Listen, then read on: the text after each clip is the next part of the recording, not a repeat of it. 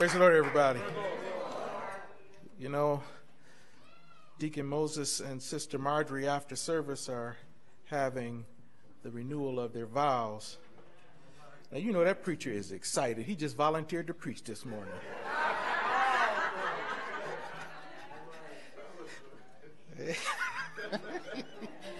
he said,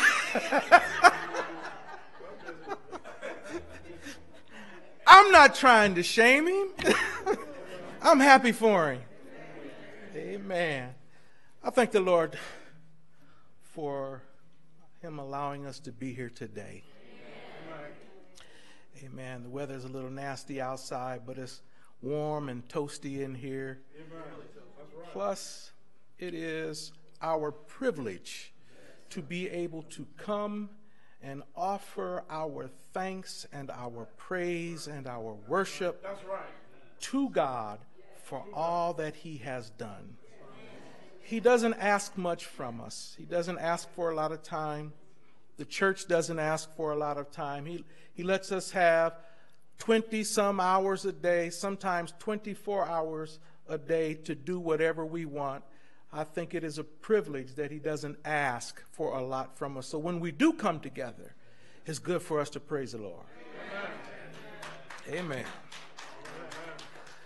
See, all this time, Minister Wicker hasn't been coming up. All this time. See what we've been missing?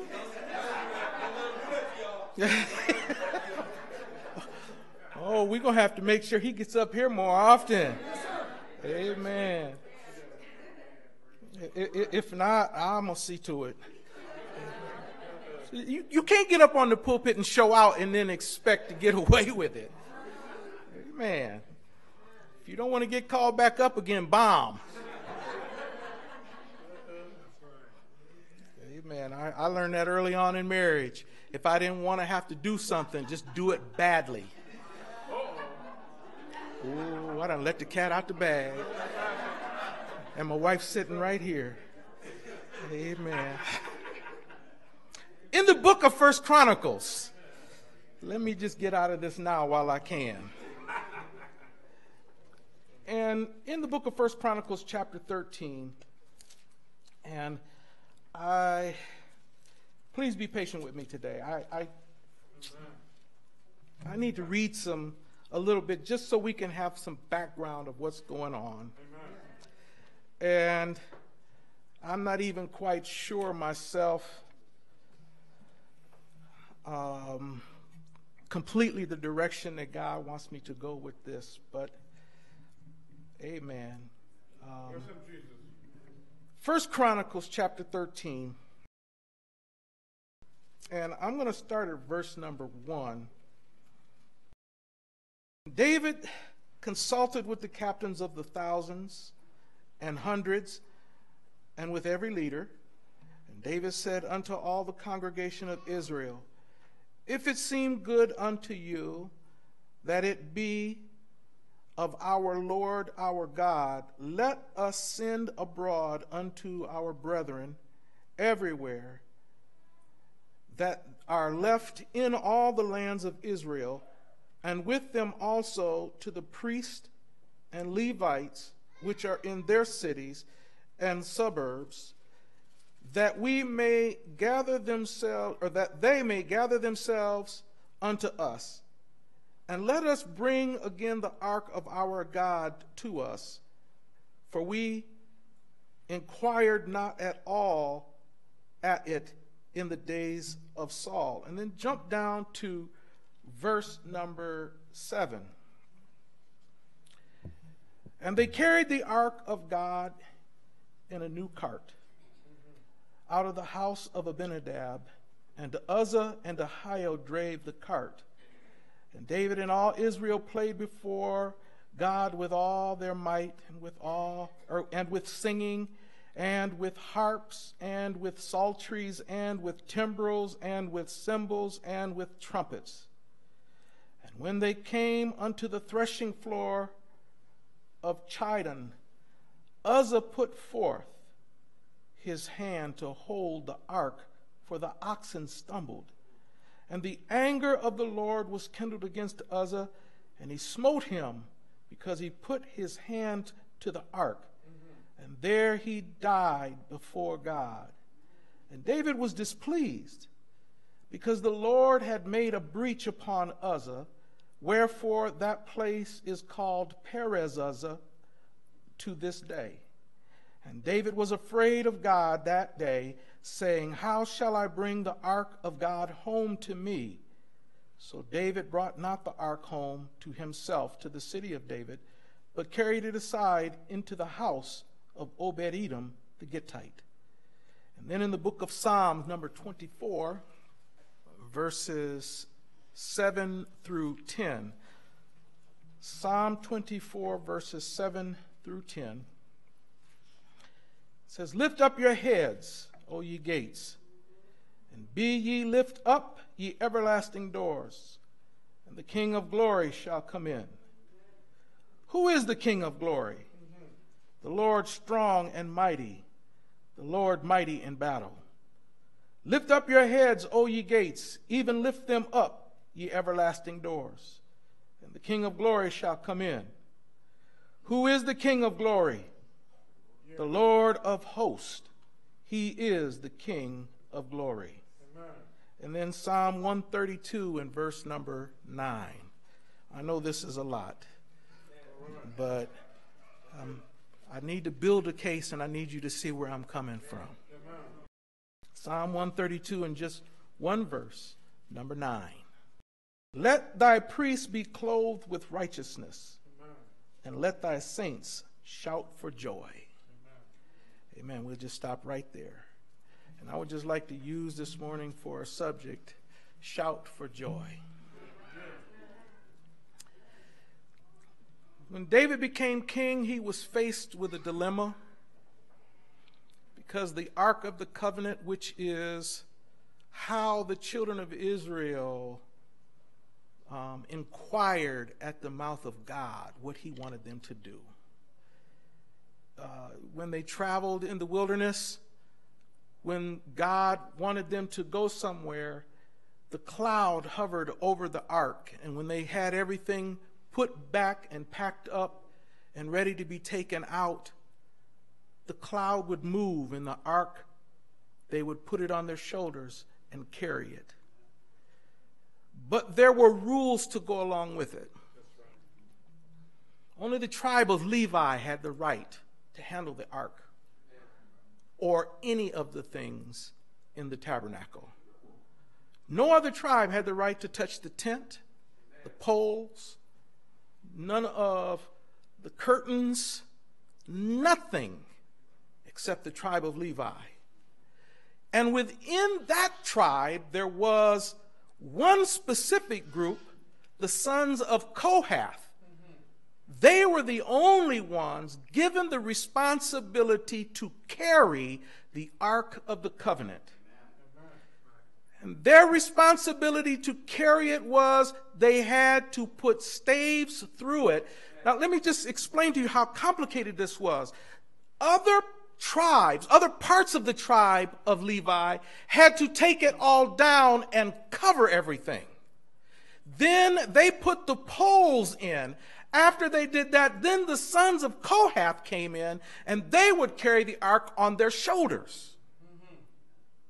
God had this laid out in a very specific way because he wanted it to be known that his ministers were responsible for carrying him for the people.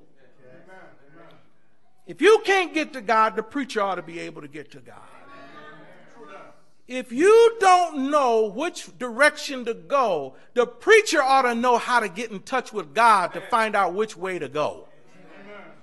That's why the Bible says that where there is no vision, the people perish. You don't have a pastor that has a vision from God, your church is going to die. So the Ark of the Covenant was how God dealt with his people. And 50 years, around 50 years, the Ark of the Covenant had not been in Jerusalem, the city of God. That's a long time to not, to not have God. I know that when we first started with the pandemic and we were only doing live stream, it was very difficult for me. I'm used to I'm used to being around God's people. I'm used to talking to people, not a camera. There was something about that that just kind of was weird to me. I didn't like it at all. I did it because I knew that we needed to eat, but I didn't like it. And then when we finally were able to all come back together, I was so excited. I think I was more happy than the saints were. I was just glad. I can't imagine being out of contact, out of contact with God for nearly 50 years. This, this wasn't like today where you have churches where we just go to. They had one ark. Everybody sought the Lord through that one ark.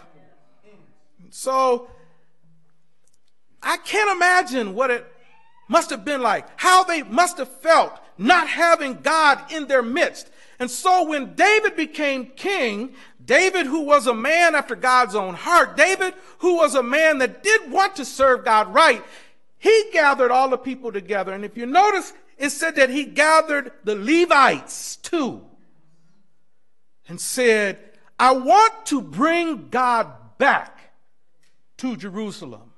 What say ye? And everybody said yes. And So when they did, they put the ark on a cart and they started heading from the house of Abinadab to Jerusalem.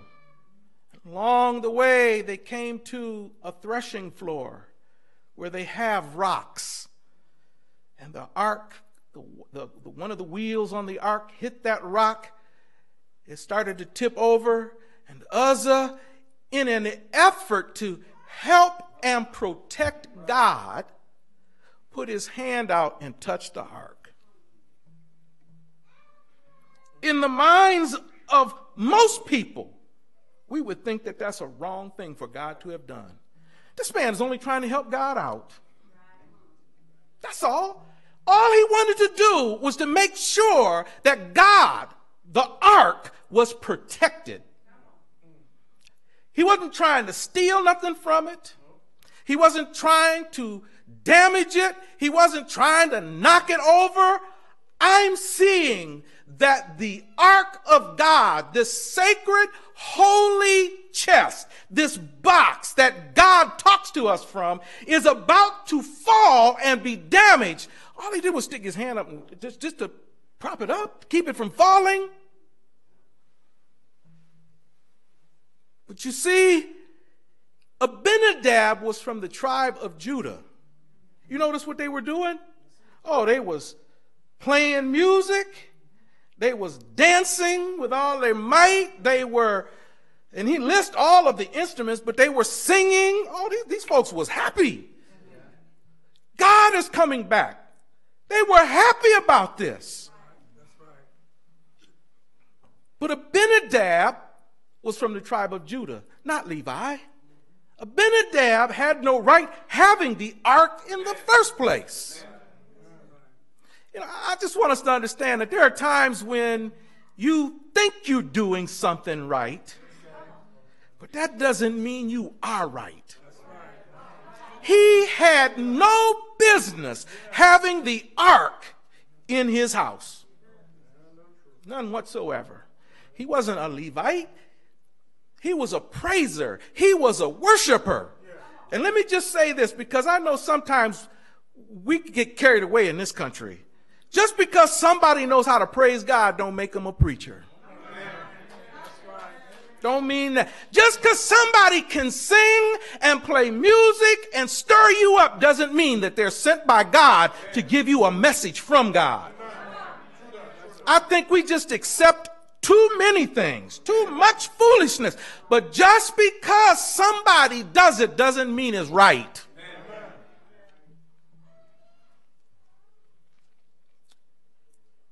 This man, Abinadab, was at his house among his family, And Uzzah and Ahio were also the sons of Abinadab.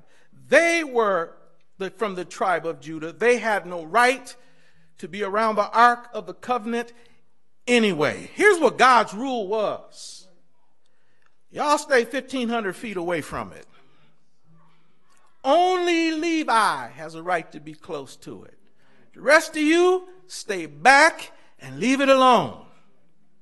Now, I think it was very merciful of God in the first place to allow them to pick it up and put it on that cart. But God never told them to put it on a cart. He said, You carry me on your shoulders. I, I, just, I just want us to understand that the way we're doing things today is a little bit different than what God is asking for.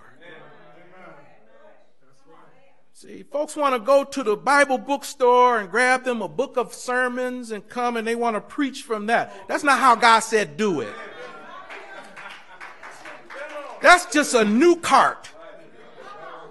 The word says, study to show thyself approved unto God, not unto the congregation, not unto your family, not unto the other preachers, not unto your friends, but study to show yourself approved unto God. Then he goes on a step further, a workman. See, a lot of preachers don't understand that the work of the ministry is work. Man, we look at these TV preachers and they live in a good life. They drive in Bentleys. They, they walking around with thousand dollar tennis shoes on, with two thousand dollar suits. Oh, and they, they looking good. And we think, I want that kind of life. Let me just tell you, there, there's something about people. And I'm guilty too. I, I don't want anybody to think I'm trying to just throw it out there at y'all. No, I'm guilty too. We don't really realize when you see someone in life that is successful, they have put some work into it. You can't depend on other people to bail you out and help you out. You got to put in some work on your own. I remember when I was working at uh, a place in Indianapolis, some of the employees would be upset at the owners of the company. Well, you know, they got all this money. They millionaires. They ought to take some of that money and share it with us. I said, now I have personally watched the owners. They work 12, 14 hour days, six and seven days a week. If you want that kind of money, then you need to put in that kind of work and start your own business. But don't be mad at somebody else because they're a hard worker. Amen. Now that was a natural example, but let's just take it a step further, preachers. Hallelujah. Don't be mad at a preacher because he gets up and breaks down God's word and folks are saying, I really enjoyed that. And you wait until the day you got to preach before you open your Bible up and start looking at the word. And then, and then get an attitude with people because they didn't say amen during your message. Don't be like that. Amen. If you want to be a minister, you got to work. All right. Hallelujah. Man, I'm not trying to beat nobody up. I'm just trying to make sure we understand how God's program works. And God's program doesn't always line up with our program. I would love to not have to study my Bible. I would love to be able to come to church and let somebody else tell me what they've studied from the Bible. But I don't get that privilege. Amen. Let me get back to the message. These folks was excited. God is coming home. I don't know if we really understand what that's like to not be able to go to church. I guess the only thing that we could say is like being in jail for a period of time you haven't done anything wrong, but you've been wrongly in prison. And for, for 10 years, you ain't been able to go to church. You've been around all this foolishness, all this sinfulness, people that are really sinners, wicked folks that aren't sorry about what they've done, haven't repented at all, but you have done your time faithfully. And when you get out, the first thing you should want, let me get to church. When you're hungry for God, you haven't had him in a while? I'm telling you, there, there's something about coming into the house of God and feeling his presence. I, mean, I, I think sometimes we believe that, and maybe some churches do, where they sing the songs of Zion out of ritual or out of habit. But we ought to be glad to come to church. Glad to sing about the Lord. Glad to clap our hands. Glad to be able to say, Hallelujah. Lord, I love you. Lord, you're worthy of all praise. We ought to be glad to do that. That's what these people were doing. They were excited and happy because they were just about to get back to where they had been before. God is coming home. But you know, God is not interested in what you want to do for him so much as he's interested in you doing what he asked you to do. And I want to be clear God doesn't have a problem with us doing extra. I, I, think everybody that's been filled with the Spirit of God should do extra for God. I mean, he, he, he did something for you that you could never pay for in a lifetime of work. Could never pay for it. And if you did pay the price, you couldn't enjoy it because you'd be dead. It took a sacrifice of blood. And if you wanted to make you right with God, it would take a sacrifice of your own blood. And you can't do that and then turn around and enjoy it. But God didn't want to turn us into a murder cult.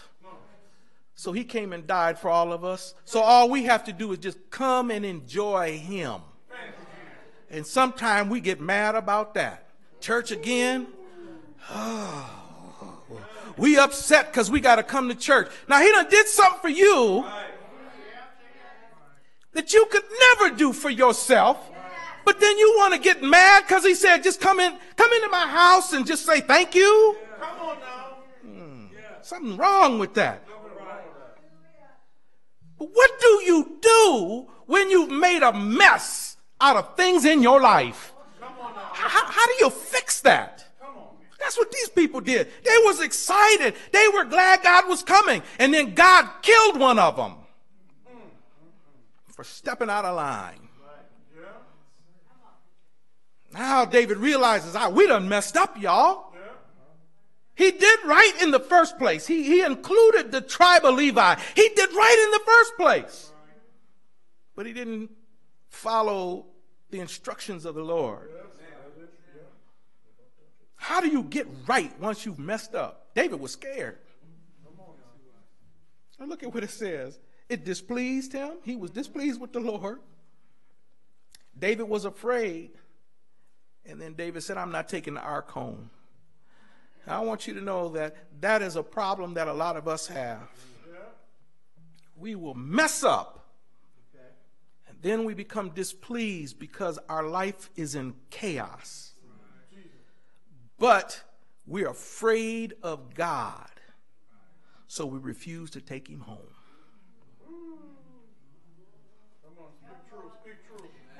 That's true. There are times when we make mistakes.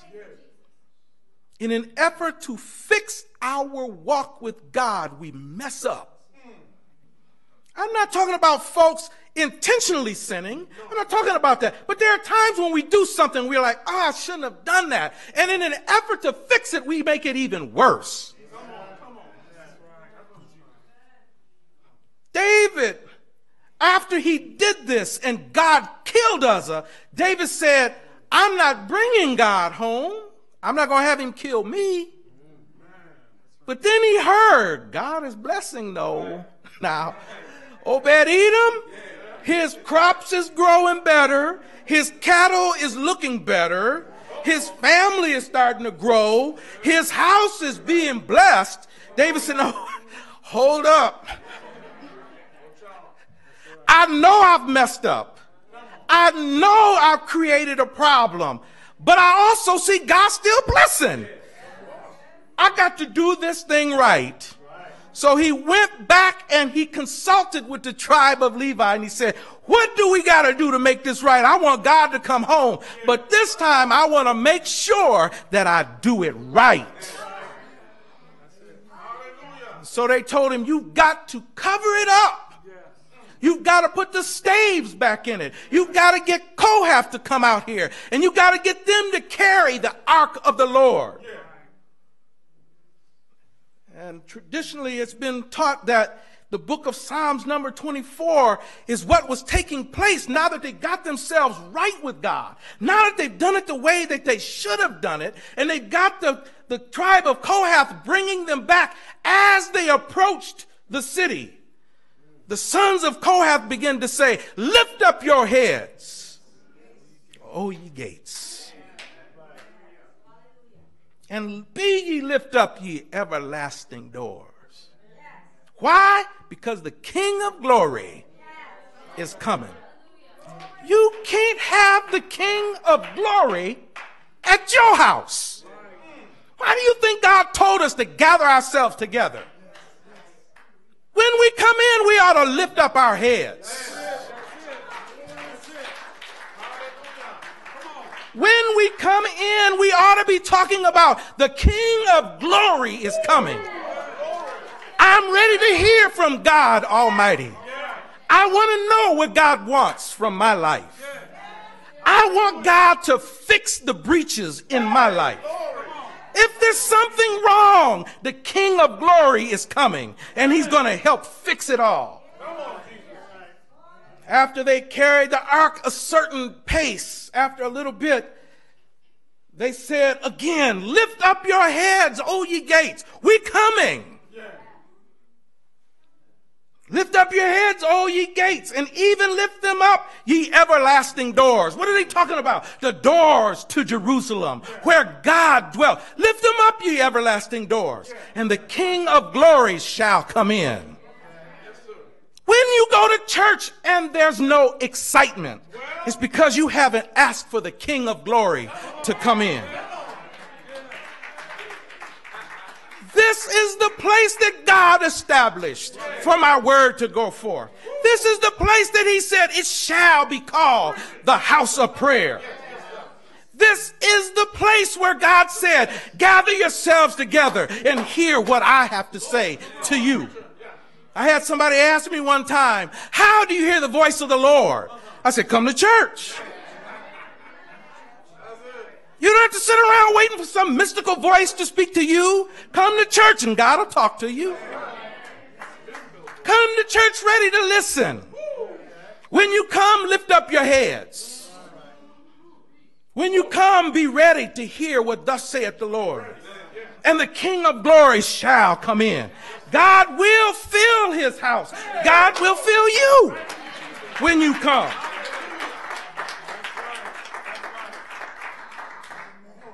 You can't fix it by doing it your way. I tell you something that the devil will do. The devil will try to shame you into not coming to church. The devil will try to guilt you into not coming to church. The devil will try his best to occupy you so that you don't want to come to church. The devil will make sure your boss schedules everything when it's time to go to church. He'll do whatever he can to keep you from coming to church. Why? Because he knows you're going to come into the presence of the King of glory, and he doesn't want that. And then when we get to Psalms 132 and verse number 9, there's a stipulation that's given here. He said, Let thy priest be clothed with righteousness. You can't go to church because that's where everybody in my family went. You need a pastor, a preacher that's clothed in righteousness. You do. Not because he's a good speaker, not because he can quote the whole Bible without reading the Bible. That's not the qualifications of a preacher. That's not what God asked out of his pastors. He said a pastor ought to feed his people with knowledge and understanding. If you're not getting an understanding, you don't need to be going to that church.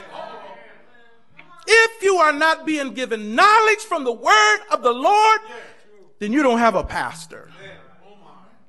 If you got a pastor that's tiptoeing and creeping and acting shady, he's not a pastor. Hallelujah. If you got a pastor that's greedy for filthy lucre, you ain't got a pastor. If you got a pastor that's more worried about his clothes than his parishioners, you don't have a pastor. See, a lot of pastors is more concerned about their automobiles than about the people that God put them over. That's not a pastor. To be clothed in righteousness means I'm living right. Not when I'm in the pulpit, not just when I'm at, at work. I'm living right all the time. Some people live right in front of their husband or wife. They live right in front of employees. They live right when they're around the saints. They live right when they're out in public. But let them get off by themselves. Amen. I had somebody tell me his pastor, baptized in Jesus' name, filled with the Holy Ghost, pastor of his church, said when he goes out of town on vacation, he will drink and party. He said, I got to let my hair down.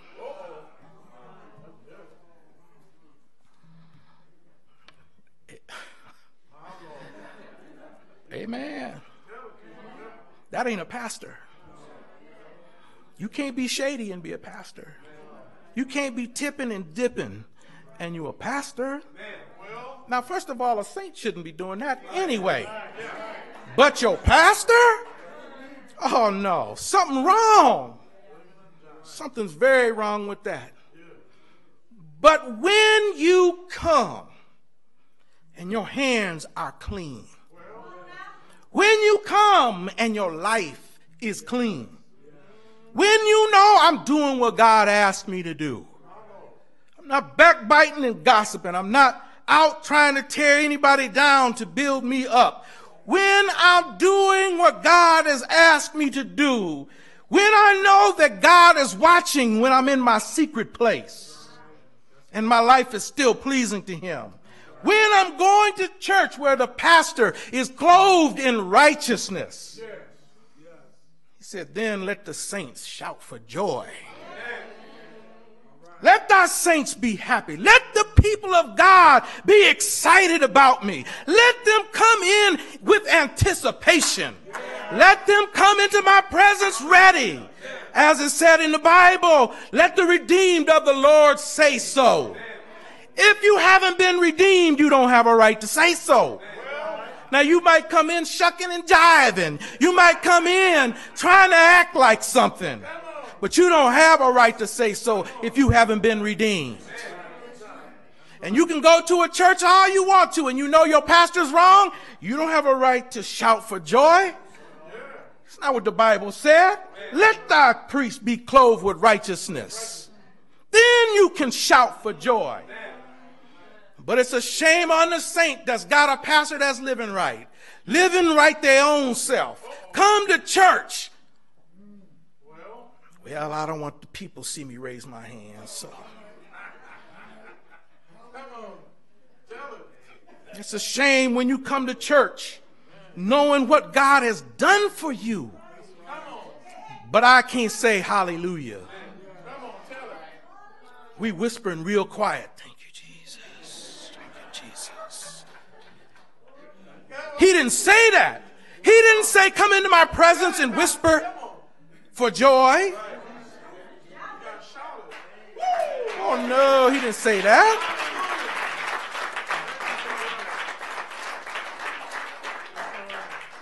my mother lived with us for a while and she used to like watching the game show network and they would have family feud on and then people would come up with some of the dumbest responses I've ever heard. And they'd be like, ah, high fiving each other. I'm like, that is crazy.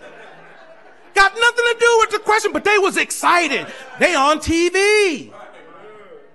Oh yes, we excited. Don't let them win some money. Woo! But when you come to church, the Lord died for you. He saved you and he made you holy.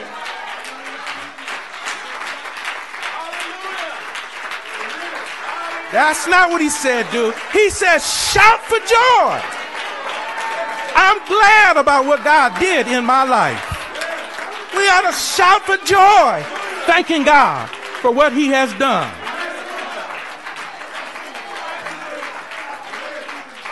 When God has done something for you, you got a right to praise the Lord. We used to sing that all the time. I got a right to raise my hands. I got a right to stomp my feet. I got a right to praise the Lord. I know I have a right. They out in the streets worshiping and praising their God. But when I come to church, I don't have a right to praise mine. No, sir. I have a right to praise my God. When I come, I should be ready to shout for joy for what God has done for me. People ought to know what God has done for you. They ought to. You should be able to get stirred up in your own house, thinking about what God has done for you. You should be able to drive down the street and get excited about what God has done for you. You should be able to ride your bicycle or go for a walk and be excited about what God has done for you. There's no time in our life when we shouldn't be glad about what God has done for us. I don't care how dreary it may look. I don't care how bad it may seem. God has still done some good things in your life.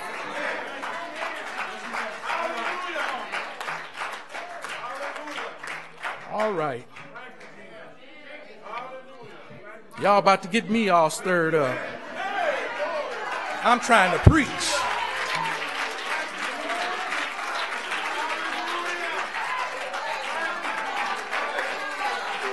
But you ain't the only one that's got a praise for the Lord.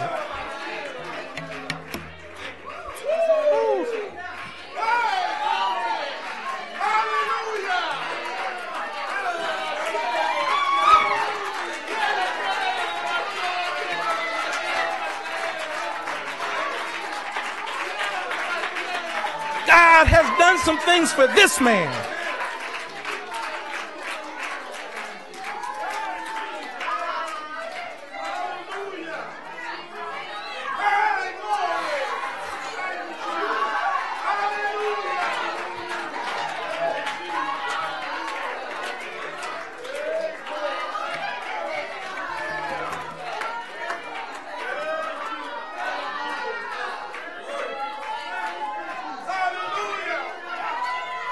I know it's easy to say when you're a preacher, but I'm not just saying it. I stir my own self up. I rejoice when I'm in the shower. I talk to the Lord. I rejoice when I'm driving. You know, there have been times when I've been driving down the street, have to pull my car off to the side of the road. I'm just quenching, pull off, put it in park, get out, and start shouting for Jesus. I've done that. You know why? Because I know what He's done. It's not just what God did for me, I know me. I know just how low down I would be without Him in my life. And so I'm just glad. I know, I know I can shout for joy. I know I can praise the Lord. Amen. And I don't let nobody take that from me. Now, when I'm, when I know I got to preach, I'm trying to keep myself together. But there's times when I'm listening to other preachers and I'm getting tore up and the word is shaking me up. My pastor used to call me Jeremiah. He said, You the weeping prophet. I said, Yes, because when I start to feeling good, when I start to think about what God has done, when I hear the word of God and feel his anointing down on the inside, it just stirs me up all over.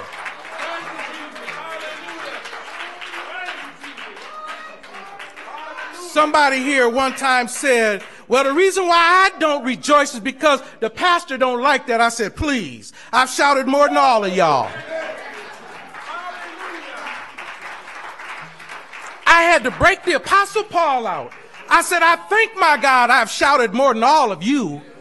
I used to shout every service. If I wasn't shouting, I was crying. You know why? It wasn't because I was putting on a show. It was because I knew just how real God was. I knew just how good He was. I realized what God had done for me. So I just, I had to get myself under control sometimes. One time the pastor told me, You sitting back in the sound room, don't be tearing up stuff back in there, because I was getting busy. I was enjoying Jesus. Hallelujah. Oh, yes. Amen. That's right. That's right. That's what the song said. I'm feeling mighty happy. I'm feeling mighty fine. Why? Because I'm enjoying Jesus. Hallelujah. Well, let me just say this. If you don't know, you can.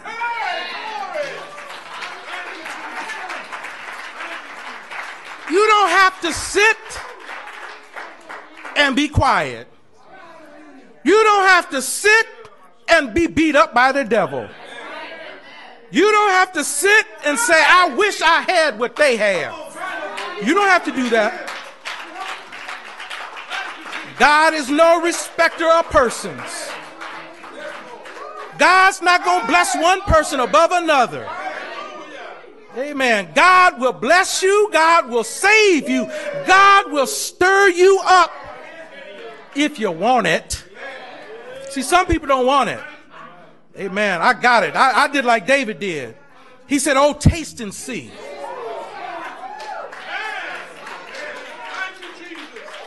After I got a taste, I said, I want some more of that.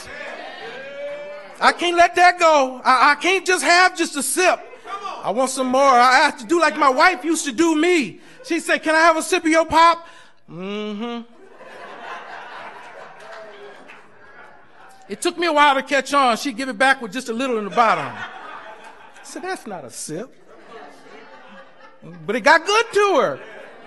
Amen. And if you just get a little taste of Jesus, it'll get good to you.